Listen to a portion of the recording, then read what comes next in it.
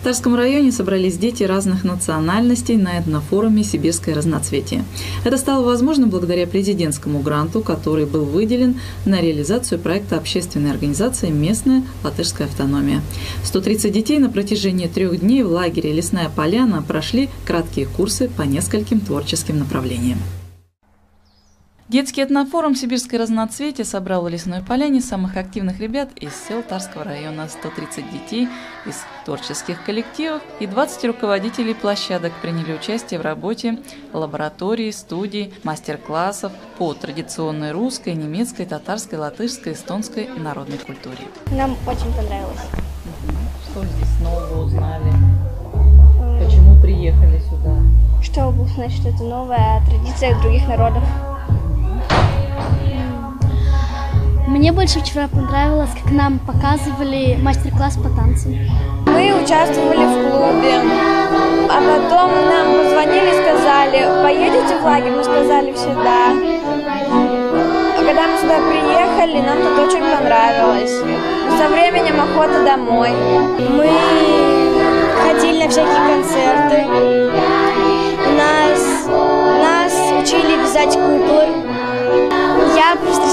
Казаками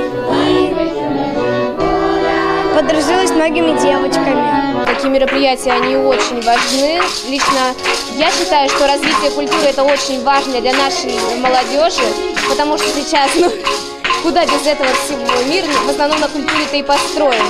Эти форумы, да, они очень полезны, я очень многое узнала.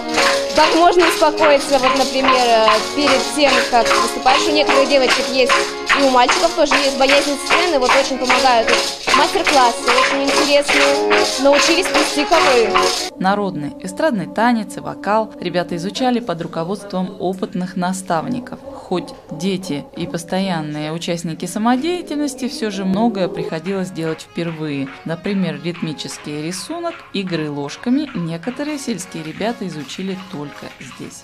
Если подучиться, тогда легко, а так сложно.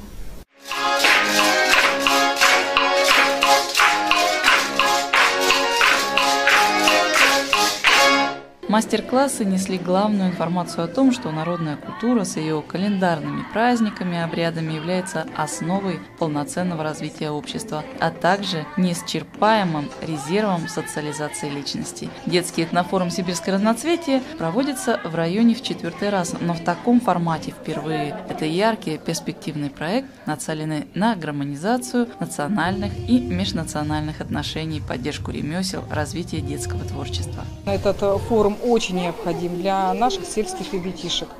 Ну, потому что у нас э, образование не позволяет так, как могут преподаватели, которые более вы, на высоком уровне могут преподать то, что не можем сделать мы. Вот. И дети знакомятся с селом, с другим ближайшим, например, заводят новых друзей. Для них это очень важно, дети довольные. Ребята уже с первых дней стали применять в практике полученные знания. То, чему они научились э, каким-то элементам национального танца на площадке по народной хореографии, э, у нас прошел хоровод дружбы и площадка, где знакомились э, с элементами армянского, русского, латышского танцев они это использовали уже в других мероприятиях, э, когда нужно было выполнить какое-то задание. Угу. То есть элементы уже включали. А, Положительно. Даже сегодня на мероприятии «Этноспорт» тоже были такие задания, когда нужно было придумать какой-то элемент э, и повторить, а группа должна за человеком повторить э, этот элемент, то использовали то, чему они научились. Кто научился петь, тот показывал, ну, за ним должны были повторить именно вот народный какой-то спеть народную песню. Кому-то пришлось э, за хореографами показывать новые выученные элементы. Не только дети познавали новое и совершенствовали навыки пения. Для взрослых тоже был организован курс подготовки. Вести занятия пригласили хормейстера, руководителя народного вокального ансамбля «Хорошие девчата» Государственного центра народного творчества Омской области Марию Цыганок. Я уже не первый раз с ними встречаюсь, мастер-класс у нас уже очередной раз. Я надеюсь, что это будет и дальше продолжаться, наша вот эта дружба. Они молодцы. А, если бы не их вот этот энтузиазм и желание, я думаю, ничего бы не получилось. Но они энтузиасты своего дела и, знаете, такие немножко, наверное, перфекционисты. Они хотят, чтобы коллектив их, каждый, да, каждый коллектив был лучше, чем другой. И они впитывают, впитывают как губки. Поэтому даже то, что мы вот с ними делаем по минимуму, им дает большой запал на будущее для работы, ну, так скажем, от встречи до встречи. И мы уже приезжая на какие-нибудь конкурсы, фестивали, в составе жюри, я вижу, что есть прогресс у коллектива, поэтому ничего даром не проходит.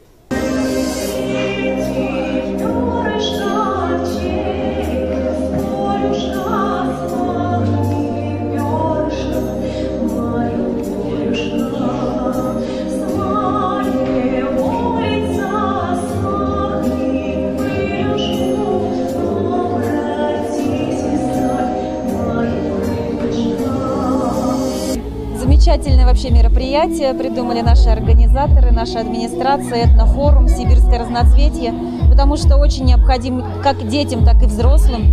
А здесь очень-очень много проходит различных занятий, а, тем более, что собираются разные народы, и русские татары, и белорусы.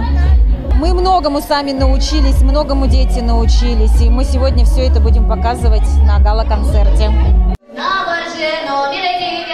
мы Kay Bran ang